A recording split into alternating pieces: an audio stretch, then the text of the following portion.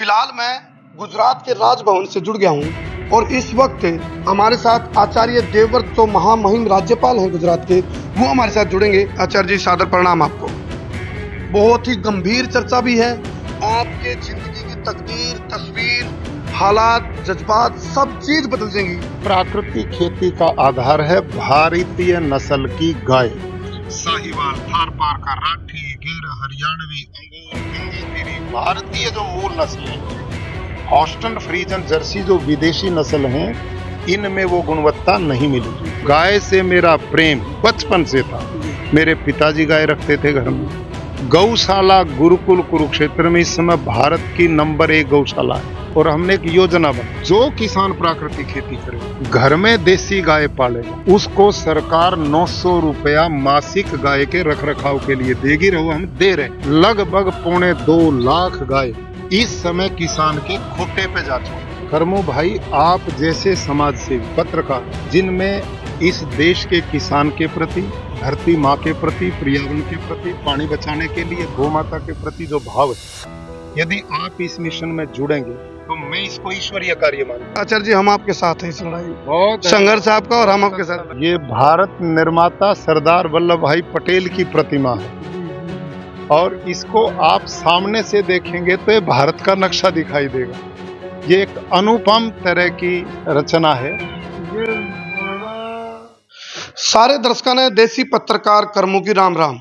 फ़िलहाल मैं गुजरात के राजभवन से जुड़ गया हूँ और इस वक्त हमारे साथ आचार्य देवव्रत जो महामहिम राज्यपाल हैं गुजरात के, वो हमारे साथ जुड़ेंगे। सामने तस्वीरों में आप देख रहे हो आचार्य देवव्रत जी हमारे साथ चर्चा में शामिल होंगे। आचार्य जी, सादर प्रणाम आपको।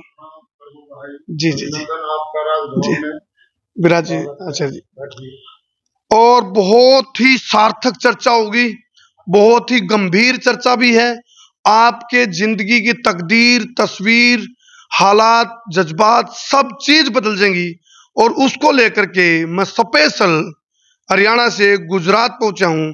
आचार्य देवव्रत जी का एक ड्रीम प्रोजेक्ट है, एक सपना है, किसान, धरती, गऊ, सब खुशहाल हों और उसका पूरा का पूरा साइंटिफिक तरीके से टेक्निकल तरीके से एक विश्लेषण हम आचार्य जी से लेंगे।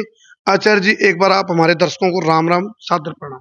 सब दर्शकों को सादर प्रणाम और सबके लिए मेरी ओर से शुभकामनाएँ। आचार्य जी मैं देख रहा हूँ आपकी मेहनत जो है वो ताबड़तोड़ है। लगातार आप 35 वर्षों से संघर्ष कर रहे हैं और इस कड़ी में उस संघर्ष की यात्रा के बीच में एक घटना आपके साथ घटती है और कहते हैं आवश्यकता आविष्कार की जननी होती है।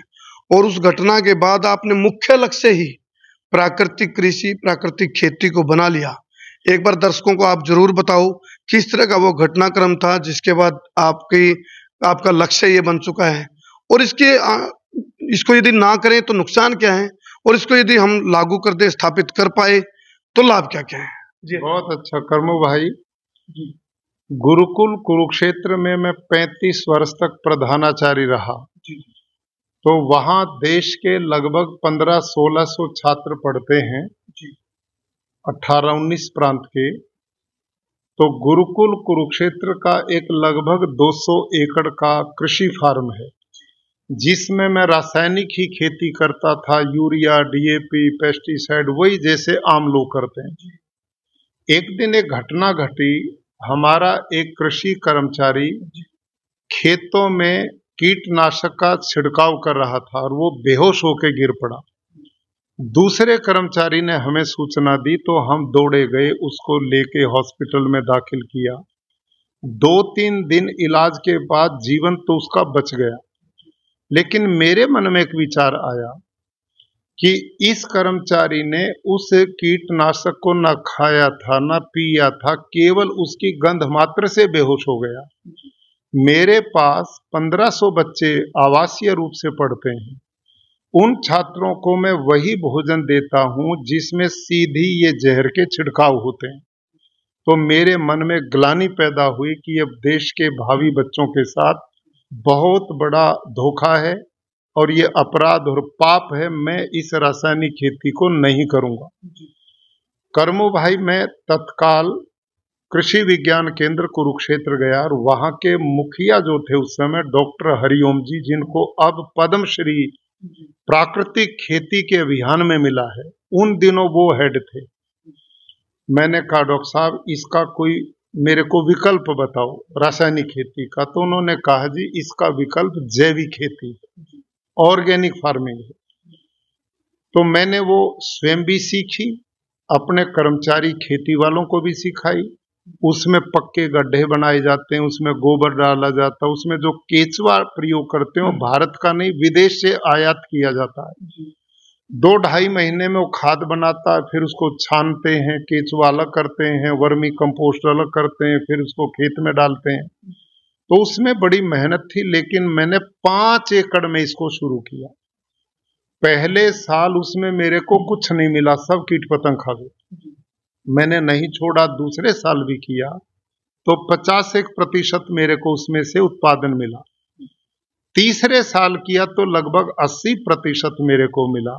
मेरी समझ में आई कि मेरे पास तो गुरुकुल कुरुक्षेत्र में लगभग 200 एकड़ ज़मीन है।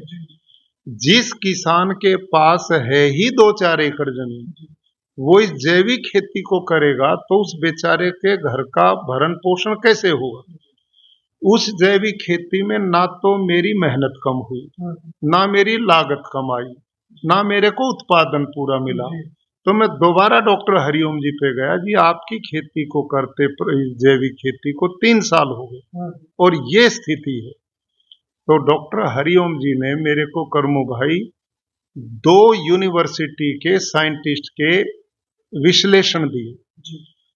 एक था एग्रीकल्चर यूनिवर्सिटी हिसार का दूसरा था एग्रीकल्चर यूनिवर्सिटी लुधियाना का। उसमें लिखा था जैविक कृषि क्या है? उन्होंने लिखा कि भारत के खाद्यान्न भंडार को भरने के लिए दो फ़सलें मुख्य योगदान करती हैं गेहूँ और एक चावल। और इन दोनों फ़सलों की भरपूर उत्पादन यदि लेना है प्रति एकड़ तो एक एकड़ खेत में 60 किलो नाइट्रोजन की ज़रूरत है। अब 60 किलो नाइट्रोजन रासायनिक खेती में करना है तो बाज़ार में जाओ यूरिया डीएपी खरीदो डाल दो पूरा हो जाएगा। लेकिन हाँ, जैविक खेती में कैसे हो? गोबर की एक टन गोबर की खाद में दो किलो नाइट्रोजन है और हमने चाहिए साठ किलो। तो इसका मतलब एक एकड़ में तीन सौ क्विंटल गोबर की खाद पड़ेगी तो साठ किलो नाइट्रोजन पूरा होगा। यदि इतनी नहीं पड़ेगी तो साठ किलो नाइट्रोजन नहीं होगा तो उत्पादन भी पूरा नहीं आएगा। एक बार अब मैंने विचार किया भाई इतना बड़ा देश का भूखंड है। क्या इतना पशुधन देश में बचा है कि जो एक एकड़ में 300 क्विंटल गोबर की खाद पड़ सके? एक बार नंबर दो इतना गोबर की खाद के लिए बीस तीस पशु चाहिए। किसान एक एकड़ में बच्चे पालेगा, तीस पशु पालेगा, अव्यवहारिक है। फिर उसी रिपोर्ट में साइंटिस्ट ने लिखा कि यदि आप 300 क्विंटल गोबर की खाद नहीं डाल सकते तो इसकी जगह 150 क्विंटल वर्मी कंपोस्ट भी उतना ही काम करेगा। अब वर्मी कंपोस्ट ये विदेशी केचवे से बना।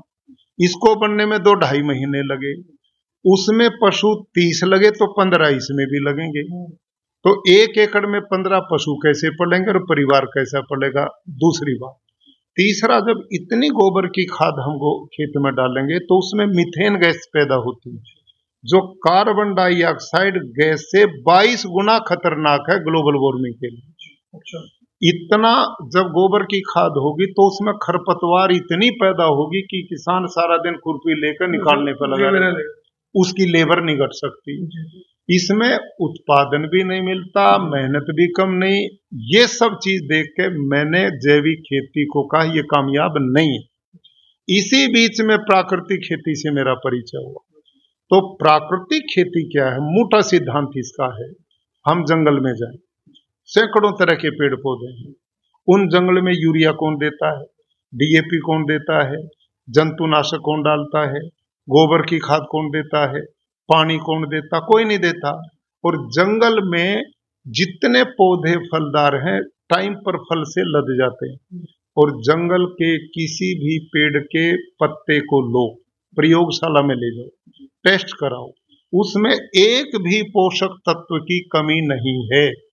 जब प्रकृति परमात्मा जंगल के पौधों को सब कुछ तत्व दे रहा तो मेरे खेत को क्यों नहीं देगा? जो नियम जंगल में काम करे जी जी। वही नियम हमारे खेत में काम करे इसका नाम प्राकृतिक खेती है। तो जी प्राकृतिक खेती के बारे में आचार्य जी पहली बार आपको कहाँ से इसकी रिसर्च प्राप्त हुई और कैसे आज आप उसमें कितना बिलीव कर रहे हैं? देखिए मैंने उसी समय पाँच एकड़ में जो जैविक खेती की थी उससे अलग पाँच एकड़ लिए मैंने। जी जी और उसमें मैंने प्राकृतिक खेती शुरू करनी की जी। और प्राकृतिक खेती के मूल पाँच सिद्धांत हैं। जी जी। पहला तो बीजामृत बनाकर बीज को संस्कारित करना। जी जी। दूसरा खेत की जुताई करके बीज बोने से पहले उसमें घन जीवामृत डालना। जी जी जी। तीसरा जब भी पानी दें तो हर पानी के साथ जीवामृत देना। जी। और धरती को ढक कर के रखना ये माँ है जैसे हमारी माताएँ वस्त्र से अंग ढकती हैं। धरती को यदि हम खुला छोड़ देते हैं तो धरती का जब 35 डिग्री तापमान होता है तो उसका ऑर्गेनिक कार्बन उड़ जाता है और धरती बंजर होना शुरू हो जाती है। तो ऐसी स्थिति में जो खरपतवार जो खेत के अवशेष हैं उनसे धरती को ढक देना केवल उसको छोड़ देना जी पौधा है। अच्छा। तो उससे वापसा का निर्माण होगा। जी जी जी। वापसा क्या है कि उसमें नमी पचास प्रतिशत हवा। ऐसी स्थिति जब धरती में पैदा होती है तो सूक्ष्म जीवाणु उसमें काम करते हैं। जी। और केचुआ उसमें काम करता है। धरती का ऑर्गेनिक कार्बन उससे बढ़ना अपने आप शुरू हो जाता है। और पांचवा और अंतिम इसका सिद्धांत है एक ही समय खेत में एक फ़सल नहीं लगानी। जी जी। अनेक तरह की फ़सल लगाओ। मल्टी क्रॉप जैसे हमारे पुराने बुज़ुर्ग करते थे वहीं पर भिंडी लग जाती थी वहीं पर तोरी थी वहीं पर करेला था वहीं पर सलजम थी वहीं पर क्या नाम मूली गाजर जी जी। ऐसे लगा दी। गेहूँ के बीच में चना बीज दिया। गन्ने की जुताई करते समय उसके बीच में वेजिटेबल सब्ज़ी लगा दी। तो ये आपस में इकोसिस्टम बन करके एक दूसरे की मदद पौधा करता है और धरती का ऑर्गेनिक कार्बन इससे बढ़ता है। अच्छा जी प्राकृतिक खेती का बेस आधार किस चीज़ को मानते हैं? बहुत अच्छा। जी। इस प्राकृतिक खेती का आधार है भारतीय नस्ल की गाय। साहिवाल थार पारकर राठी गिर हरियाणवी अंगोल गंगा तीरी भारतीय जो मूल नस्ल हैं। हॉस्टन फ्रीजन जर्सी जो विदेशी नस्ल हैं इनमें वो गुणवत्ता नहीं मिली। इस समय कर्मु भाई मेरे पास 12 एग्रीकल्चर साइंटिस्ट हैं वर्तमान में जो यूनिवर्सिटीज में वीसी भी हैं प्रोफेसर भी हैं साइंटिस्ट हैं।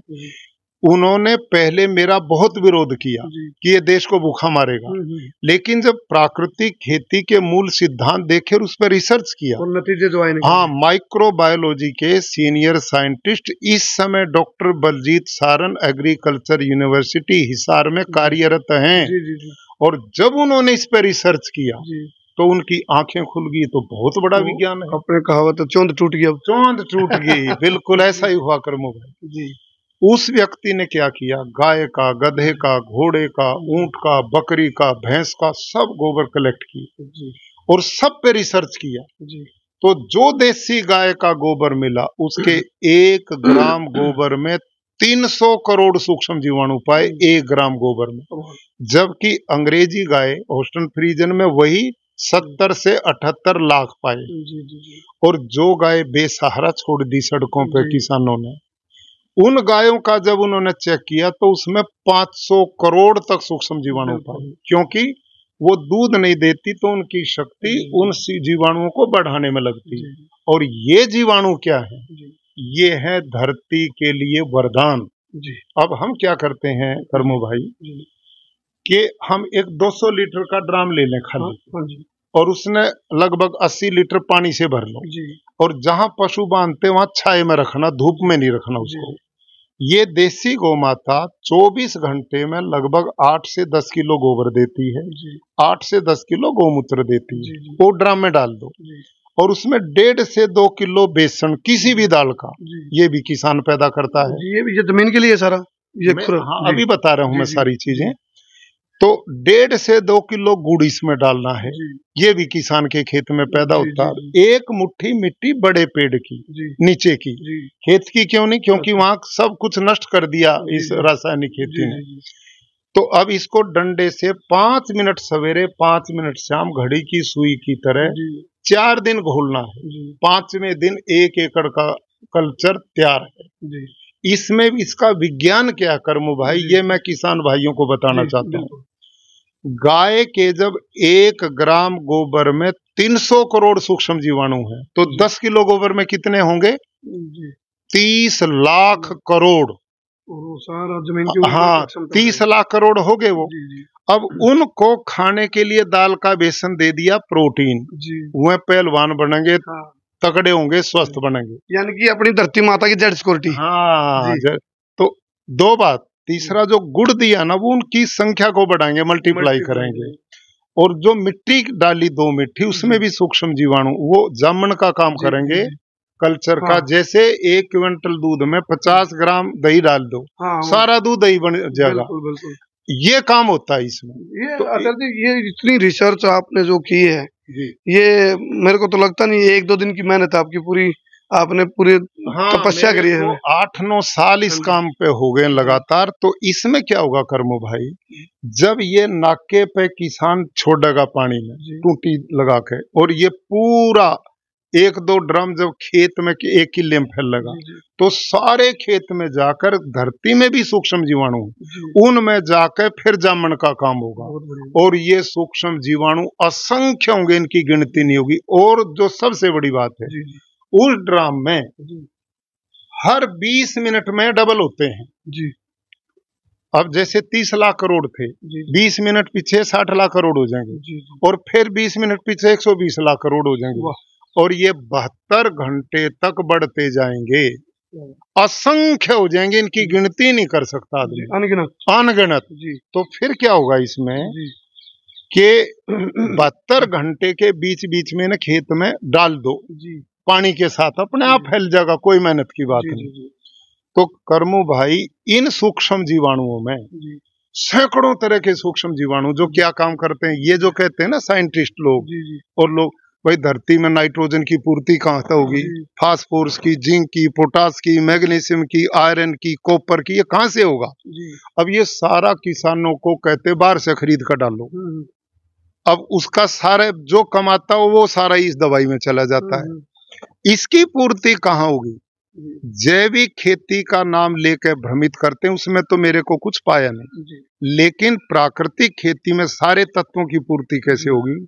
ये जो आकाश है ना भगवान का जी जी। इसमें साढ़े अठहत्तर प्रतिशत नाइट्रोजन है। जी जी। बिजली कड़कती है तो हज़ारों टन यूरिया आकाश में पैदा होता नाइट्रोजन। तो ये जो सूक्ष्म जीवाणु जो गौ माता के पेट से देसी गाय माता के पेट से गए इनमें सैकड़ों तरह के सूक्ष्म जीवाणु और इनकी संख्या असंख्य होगी। ये आकाश से नाइट्रोजन को खींचते हैं। अब आपकी बातें सुनकर एक बात का तो मुझे एहसास हो रहा है आचार्य जी। जी। आमतौर पे गाय को हम बहुत बड़ा देवता और वो मानते हैं लेकिन अब जाके आपने जो रिसर्च किया है ना हाँ हाँ। उससे एहसास हो रहा है गाय का देसी गाय का महत्व कितना गजब ये तो परमात्मा ने किसान के लिए मानव के लिए एक वरदान है वरदान। तो आकाश से जब वो नाइट्रोजन खींचकर उसका भोजन बनाकर पौधे की जड़ को ये सूक्ष्म जीवाणु देते हैं जो गौ माता के पेट से बढ़ा है एक बात। दूसरी जो सबसे बड़ी बात मैं बताना चाहता हूँ ये जो धरती माँ है ना ईश्वर पूर्ण उसकी रचना भी पूर्ण। इसमें सारे पोषक तत्व हैं phosphor zinc potash iron copper सब कुछ है लेकिन ये तत्व अपने आप पौधे का भोजन नहीं बनते ये जड़वत पड़े हैं गांठ बांधे पड़े हैं। इन तत्वों से भोजन बनाने का काम करते हैं यही गौ माता के पेट से निकले सूक्ष्म जीवाणु। जी जी जी। ये उनको खाते हैं तत्वों को खनिजों को और भोजन बना के पका के पौधे की जड़ को देते हैं। जी। बड़ा मोटा उदाहरण किसान भाइयों के लिए। सबके घर में रसोई है। हाँ रसोई में भोजन बनाने का सारा सामान है। उसमें दाल भी है चावल भी है आटा भी है सब्ज़ी भी है घी तेल भी है गैस सब कुछ है। लेकिन हमारी माँ बहन बेटी भोजन बनाने ना जावा रसोई में तो क्या भोजन बनकर अपने आप आ जाएगा बाहर? नहीं तो बनाना सामान तो सारा है। हाँ जी हाँ जी। लेकिन बनाने वाला नहीं तो भोजन ही वो बनेगा ठीक ठीक जानना ठीक ठीक मानना ठीक ठीक इम्प्लीमेंट करना। हाँ। बिल्कुल। जी। बस यही काम जो। रसोई में माँ बहन का काम है वही खेत में सूक्ष्म जीवाणुओं का काम है। पौधे का भोजन तो सारा धरती में है लेकिन उस भोजन को बना के पका के पौधे को देने का काम करता है केचुआ। करता सूक्ष्म जीवाणु जो देसी गौ माता के पेट से निकले हैं। और वो मित्र कीट जो गौ माता जिसका बढ़ावा करती है उससे अपने आप पौधे के 16 प्रकार के पोषक तत्व जो मिलने चाहिए वो पूरे कर देती। तो बाहर के यूरिया डीएपी की के ज़रूरत बिल्कुल बिल्कुल। कर्मो भाई एक और बात पूछूँ आपसे। आप जब सड़कों पे घूमते हो पुल बना रखे हैं हाँ आजकल बड़े बड़े उन पर पीपल जाम गया हाँ जी। बड़ जाम गया। हाँ। न्यू बताओ उसने यूरिया कौन दे है? हम्म, डीएपी कौन दे है? पानी कौन दे है? वहाँ तो मिट्टी भी कोनी हम्म। पत्थर में जाम गया। जी। पेड़ को खुराक मिलती है सूर्य की धूप से। खुराक मिलती है हवा से। ये जो भ्रम पैदा कर रखा धरती से तो पेड़ दो डेढ़ दो परसेंट ले। आचार्य जी कहते कहावत है बोला जैसा खाए अन्न वैसा हो मन। मन। और आप का जैसा सुनने में आया जैसे आप जहाँ जहाँ भी कार्यरत होते हैं जैसे हिमाचल प्रदेश थे तो आपके बारे में सुनने में भाई लाइट को बड़ा ध्यान रखते थे भाई जब गीजर की ज़रूरत नहीं तो काम चल रहा है तो उसको बंद रखना एसी बंद रखना फिजूल में लाइट वो है तो बंद रखना। इस तरह की जो चीज़ें हुई फिर यहाँ की हम बात करें तो यहाँ आपने जो पेंशन लागू कर दी देसी गाय जो रखेगा।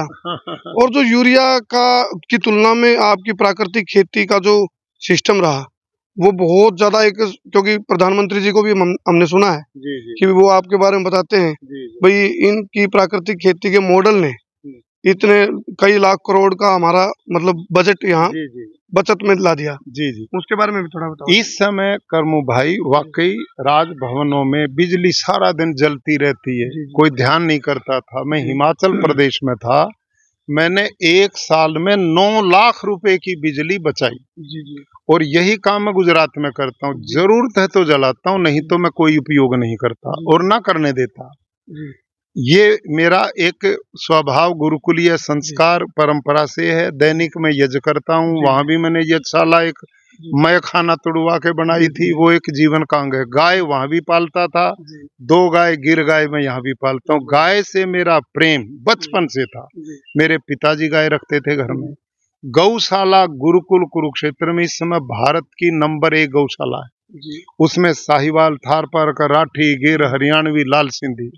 इन गाय की नस्लों पे मैं काम करता हूँ। मैंने देसी गाय को 20, 22, 24 किलो तक पहुँचा दिया। जी जी। और ये ब्रीड के बनाने का अभियान मैं पूरे देश में प्रेरित करता हूँ। दूसरा रहा प्राकृतिक खेती का। हिमाचल प्रदेश में दो ही साल मैंने काम किया। जी। क्योंकि उन दिनों पहले दो साल में मैं गुरुकुल कुरुक्षेत्र में एक्सपेरिमेंट कर रहा था। भाई ये सफल भी है क्या नहीं? जब मेरी प्राकृतिक खेती सफल हुई तो मैं हिमाचल में गाँव में जाता खेतों में किसानों के बीच में बैठता और उन किसानों को बिठाकर मैं समझाता भाई ये काम करो। जी। वहाँ लोगों के शरीर गले हुए थे। जी जी। स्प्रे करते करते। एक दिन माँ स्प्रे करेगी एक दिन बेटा करेगा एक दिन पिता करेगा एक दिन बहू करेगी। ऐसे बांटते थे। तो मैंने जब प्रचार किया तो लगभग पचास हज़ार किसान मैंने प्राकृतिक खेती से जोड़ दी और एक बोर्ड बना दिया प्राकृतिक खेती का।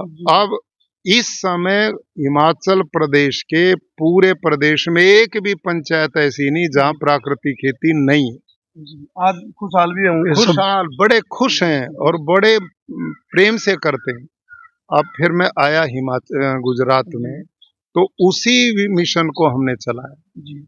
आदरणीय प्रधानमंत्री जी का नेतृत्व मार्गदर्शन और उनका हर समय प्रेरणा इसके लिए बहुत हमें अनुभव में आई। और हमारी प्रदेश सरकार ने माननीय मुख्यमंत्री कृषि मंत्री पूरा विभाग एकदम समर्पित होके लगा तो आज आपको खुशी होगी। आज के दिन तक लगभग 10 लाख किसान गुजरात में प्राकृतिक खेती करना शुरू कर चुके। और हमने एक योजना बनाई। जी किसान प्राकृतिक खेती करेगा घर में देसी गाय पालेगा उसको सरकार 900 रुपया मासिक गाय के रख रखाव के लिए देगी रहो हम दे रहे हैं। लगभग पौने दो लाख गाय इस समय किसान के खूंटे पे जा चुकी है। और हम नस्ल सुधार की भी बात करते हैं भाई गाय की ब्रीड को बनाओ।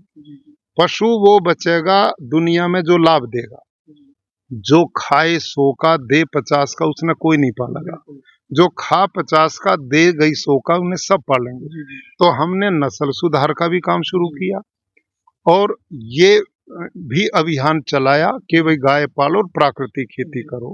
अच्छा जी एक बात। यहाँ जब भी प्रधानमंत्री जी भी आते होंगे क्योंकि गांधीनगर में हम हैं और राजभवन में प्रधानमंत्री जी का भी आना जाना रहता होगा तो यहीं पे टहलते टहलते प्राकृतिक खेती के बारे में जब आपने बात रखी भी होगी पहले भी हाँ।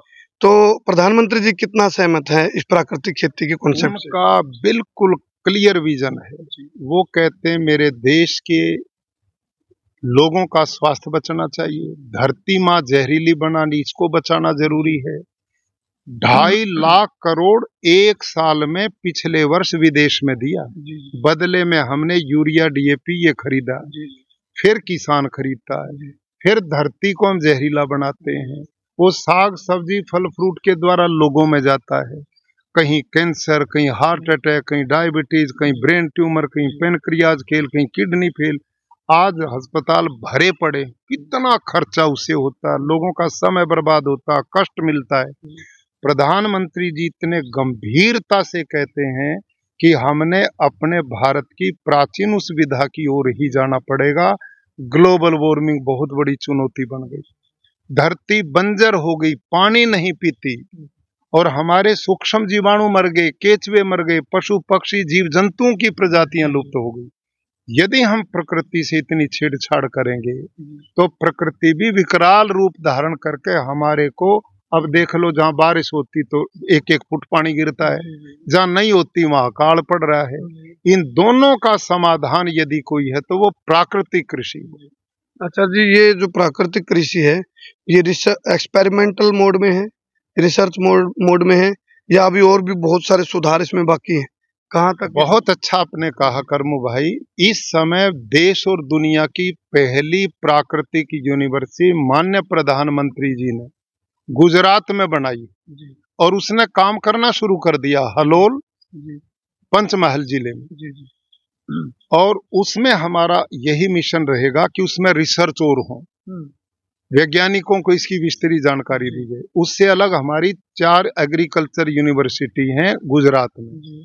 चारों में पिछले तीन साल से हम रिसर्च चला रहे हैं। और अब उन्होंने प्रेजेंटेशन दी सबने आशातीत लाभ मिला लोगों में जो भ्रम है कि हम प्राकृतिक खेती करेंगे तो उत्पादन कम हो जाएगा जबकि हमारी दांतेवाड़ा में एग्रीकल्चर यूनिवर्सिटी है जिसमें मिस्टर चौहान वाइस चांसलर उन्होंने गुजरात के राजभवन में भरी मीटिंग में जिसमें मुख्यमंत्री कृषि मंत्री मैं सब थे उन्होंने बताया कि हमने हल्दी लगाई। हम्म, रासायनिक में जितनी हुई प्राकृतिक में उससे दुगनी हुई। उसकी गुणवत्ता बहुत कमज़ोर थी रासायनिक की ये गुणों का भंडार पाई गई। और मैं गुरुकुल कुरुक्षेत्र का वर्णन आपको करूँ। हमारे 100 एकड़ ज़मीन तो बंजर भूमि थी। उसमें भी पिछले वर्ष 32 क्विंटल एवरेज धान का उत्पादन हुआ मेरे खेत में। और जो रासायनिक खेती करते हैं उनका पंद्रह हज़ार रुपये खर्चा था। सौ प्रतिशत पानी प्रयोग करते थे। उत्पादन 28 से 30 क्विंटल हुआ। मेरे में खर्चा 2000 हुआ पानी 50 प्रतिशत लगा और उत्पादन 32 क्विंटल हुआ। तो ये जो धारणा है कि इसमें उत्पादन कम होगा। सर जी प्रत्यक्ष को प्रमाण की आवश्यकता नहीं। कर्मो भाई ये आपको जानकर बड़ा आश्चर्य होगा। अब देखिए यहाँ से इस प्रतिमा को आप देख रहे हैं। तो ये ये भारत निर्माता सरदार वल्लभ भाई पटेल की प्रतिमा है। और इसको आप सामने से देखेंगे तो ये भारत का नक्शा दिखाई देगा। अच्छा। ये एक अनुपम तरह की रचना है। ये बड़ा हाँ, ज़बरदस्त तरीके से देखो ये अपने आप में कितना अद्भुत अद्वितीय है। अकल्पनीय। हाँ यस अब अब देखिए पूरा भारत का नक्शा आ गया।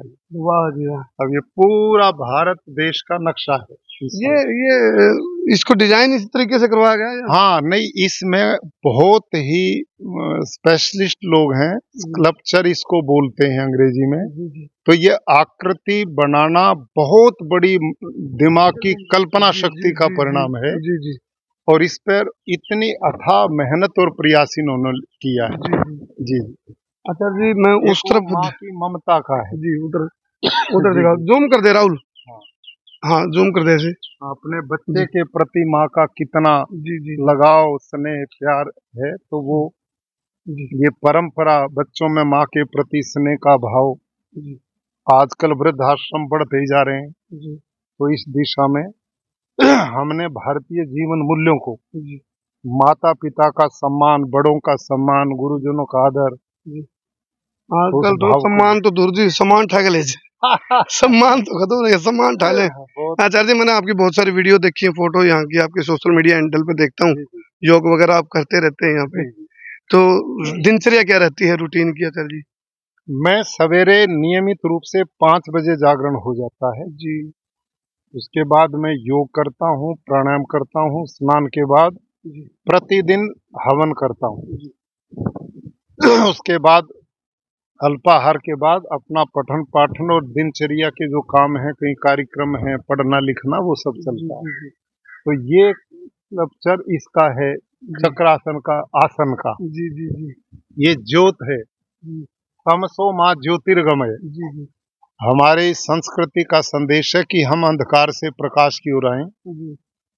ऐसा तो लगता है प्रतीक है ऐसा लगता है यदि जिस तरह अवार्ड शो होते हैं ना यदि सारे अपने देश के राज्यपालों का यदि अवार्ड शो रखा जाए तो आप बहुत आगे उस चीज़ में नज़र आते और आपकी तो लगभग वार्तालाप अधिकारियों से एडमिनिस्ट्रेशन से बातचीत चलती रहती है। जी जी। और आपकी बातचीत का नब्बे प्रतिशत हिस्सा प्राकृतिक कृषि खेती पे होता है जिससे ज़मीन गाय किसान सब बच रहा है। बिल्कुल वो रहता है।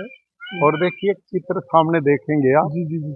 प्राचीन भारत में पूजा पद्धति जो थी वो यज्ञ का था। तो वो ऋषि लोग यज्ञ हवन करते हुए यज्ञो वाह। श्रेष्ठतम और यहाँ हम देख रहे हैं महर्षि दयानंद। हाँ हाँ। इसके बारे में बताओ चलिए पिछले पंद्रह अगस्त को जब हमारा एट होम होता है तो उस दिन इसका विधिवत उद्घाटन किया गया। जी। ये एक बहुत बड़ा एक हज़ार लोगों के बैठने की स्थिति इसमें बनती है। एक हज़ार। एक हज़ार व्यक्ति एक समय में बैठ सकते हैं। ऐसा सभागार शायद पूरे देश के किसी भी राजभवन में नहीं होगा। जी जी जी। और इसमें पूरे वर्ष भर किसानों के महिलाओं के समाज के अलग अलग प्रांतों के कार्यक्रम निरंतर चलते रहते हैं। जी। और इसका नाम इसलिए महर्षि दयानंद मंडप रखा स्वामी दयानंद सरस्वती मूलतः गुजरात टंकारा के रहने वाले थे। और उन्होंने समाज सुधार के क्षेत्र में प्राचीन वेदों की पुनर्स्थापना के लिए बहुत भव्य है अद्भुत ये बना है।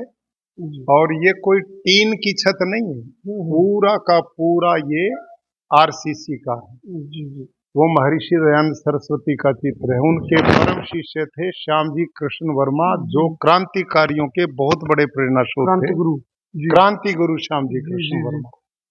इनको तो वो भी रहा ना इनकी जो अस्थियाँ थी कहीं। हाँ। हाँ।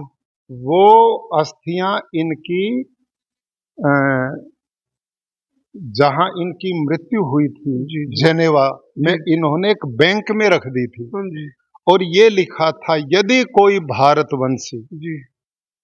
मेरे प्रति राष्ट्र की सेवा के लिए श्रद्धा रखता हो तो मेरी अंतिम इच्छा की मेरी अस्थि मेरी मातृभूमि भारत की धरती पर विसर्जित की जाए। किसी ने इसका ध्यान नहीं किया। श्री नरेंद्र मोदी जी भारत के प्रधानमंत्री जिस समय गृह मंत्री थे उन्होंने भाव पढ़े वहाँ की सरकार से संबंध स्थापित किया और अस्थियाँ लेके आए और पूरे गुजरात में कई दिनों तक अस्थि का पूरा उत्सव मनाते हुए लोगों के बीच में ले जाते यात्रा हुए निकाली। यात्रा निकाली इसने और आचार्य जी ये सुनने में आता कि जो स्विस बैंक था हाँ। उसको ये कहा था मेरी सारी संपत्ति ले लो लेकिन मेरे मरण उपरांत हाँ, मेरी अस्थियाँ मेरे देश में ये ये ये बिल्कुल बोला गया। विसर्जित करने की विसर्जित करने की और फिर उनका इनका जो पैतृक स्थान है वहाँ पर उन्होंने बहुत बड़ा भव्य स्मारक बना तीस चालीस एकड़ में जहाँ स्वामी दयानंद के उनके संवाद यज्ञशाला बनी हुई है। मैं दो बार उसको देख के आया हूँ। अद्भुत स्मारक बना जिसमें लाखों लोग प्रेरणा लेते हैं। जी। इस ढंग का कार्यक्रम बहुत इनका किया गया। देखो तस्वीरें आप देख रहे हो बहुत ही भव्य और एक किस्म से जब नाम आएगा तो महर्षि दयानंद सभा मंडप। आचार्य जी आपने यहाँ का यहाँ आना है ना यहाँ के लोगों के लिए सार्थक हो गया। आचार्य जी वैसे तो कर्म भूमि तो आपका पूरा देश है। जी जी। पूरे देश में आपकी गतिविधियाँ चलती हैं। जन्म भूमि आपकी हरियाणा से है। जी। और मैं हरियाणा के किसानों के लिए आपसे ज़रूर एक क्योंकि आपने इस बात को साबित कर दिया है सिद्ध कर दिया है प्रत्यक्ष हो चुका है। तो हरियाणा के किसानों को इस मुहिम से जोड़ने के लिए उनको अवगत कराने के लिए कोई मैसेज कन्वे करना चाहेंगे आप? ज़रूर करूँगा। करमू भाई आप जैसे समाज सेवी पत्रकार जिनमें इस देश के किसान के प्रति धरती माँ के प्रति पर्यावरण के प्रति पानी बचाने के लिए गौ माता के प्रति जो भाव है यदि आप इस मिशन में जुड़ेंगे तो मैं इसको ईश्वरीय कार्य मानता हूँ। इससे बड़ा काम दुनिया में कोई नहीं जिससे भगवान की ये जो रचना प्रकृति इसका सब कुछ बचेगा। कर्मू भाई अंत में मैं किसान भाइयों को निवेदन करता हूँ ये विज्ञान है। इस समय जो यूरिया डीएपी किसान खेत में छिड़कता है तो इसमें नाइट्रोजन है। और ये नाइट्रोजन जब ऑक्सीजन के संपर्क में आता तो नाइट्रस ऑक्साइड नाम की तीसरी गैस पैदा होती है।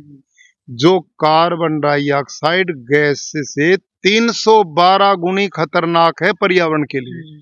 तो मेरा किसान बिना जानकारी के सबको इसकी जानकारी होनी चाहिए। सरकारों को भी साइंटिस्ट को भी कृषि वैज्ञानिकों को भी कि हम रासायनिक खेती से ग्लोबल वार्मिंग को बढ़ाने में कितना बड़ा योगदान करे। करोड़ों लाखों टन यूरिया रोज धरती पे पड़ता है। उससे कितना नाइट्रस ऑक्साइड पैदा होता है? गोबर की खाद से कितना मिथेन पैदा होता है? हमारी इस पद्धति में गोबर की खाद जहाँ उसमें 300 क्विंटल जैविक में लगती है हमारे में 10 से 20 किलो लगती है। आचार्य जी कुछ ऐसी हालात नहीं बनी हुई जैसे थी जैसे भाई शिकारी आएगा जाल बिछाएगा दाना डालेगा फंसना मत। कहते भी गए फंसते भी गए। हाँ। बहुत सारे किसानों को पता भी है इस बात हम जहर की खेती कर रहे हैं हम जहर खिला रहे हैं।